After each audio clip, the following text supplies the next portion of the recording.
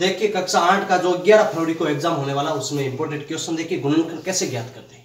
बहुत कम समय में कैसे ज्ञात करते हैं? बाकी कक्षा आठ में हम करते हैं तो लगभग आधा पेज करते हैं, तब गुणनखंड ज्ञात करते हैं।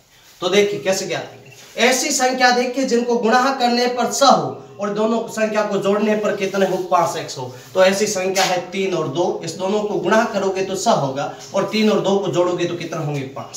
तो देखिए, इस दोनों के गुणन कर टुकड़े किए तो क्या हुए? तीन और दो। तो x प्लस के तीन और ये दोनों भी प्लस के हैं तो x प्लस के दो। ये इसके आंसर होगा। आगे वाला क्वेश्चन देखिए। ये वाला क्वेश्चन देखिए। ऐसे इन दोनों के टुकड़े करो जिनको गुणा करने पर सोलह हो और जोड़ने पर आठ हो। तो ऐसे ही चार गुणा के चार करते हैं तो सोलह होते हैं। और चार और चार जोड़ते तो आठ होते हैं। तो दोनों के, दोनों ही प्लस के है तो लिखो एक्स प्लस के चार और एक्स प्लस के चार। ये इसके गुणनखंड होंगे। आगे वाला क्वेश्चन देखिए।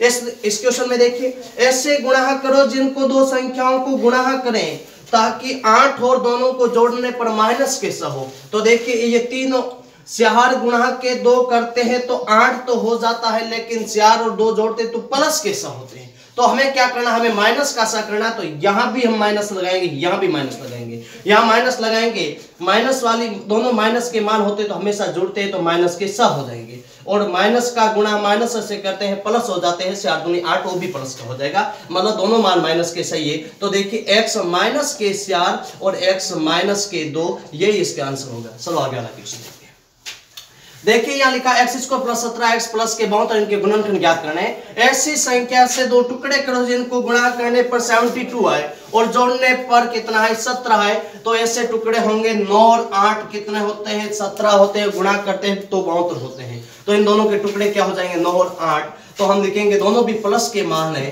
तो एक्स प्लस के नौ और एक्स प्लस के आठ, ये इसका आंसर होगा। चलो आगे वाला क्वेश्चन देखिए, ऐसे दो टुकड़े देख करो इस संख्या का, जिनको गुणा करे तो माइनस के अड़तालीस, जोड़े तो प्लस के तेरह।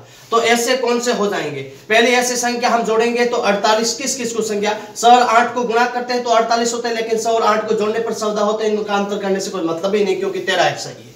तो ऐसी संख्या कौन सी है? सोलह में से तीन जाएँगे तो तेरह ही तो बसेंगे तो सोलह और तीन। तो सोलह गुणा तीन करोगे, अड़तालीस हो रहे हैं, लेकिन अपने माइनस के अड़तालीस सही है। तो हम क्या करेंगे? ये प्लस का मान सही है तो ये वाला मान माइनस के करेंगे तो सोलह का प्लस की संख्या का माइनस से गुणा करते तो माइनस में तो आंसर मिलता है। सोलह गुणा तीन करोगे तो अड़तालीस, वो किसका आएँगे? क्योंकि माइनस का से तो माइनस का आएगा। और 16 में से तीन घटाओगे तो प्लस के ही तेरह आएँगे। तो इसके टुकड़े क्या होंगे? 16 और माइनस तीन तो x प्लस के 16 और x माइनस के तीन। ये इसका आंसर चलो आगे वाला क्वेश्चन ऐसे दो टुकड़ा करो जिनको गुणा करने पर माइनस पंद्रह आए और उनको जोड़ने पर माइनस के दो आए. तो देखिए ये पाँच और तीन. पाँच और तीन इनके गुणा करने पर अपने को ये भी मान माइनस में सही, इसका मतलब इसके आगे माइनस लगाएँगे, माइनस पाँच में से तीन घटाओगे तो या माइनस पाँच में से प्लस के तीन घटाओगे तो माइनस के ही तो दो बचेंगे।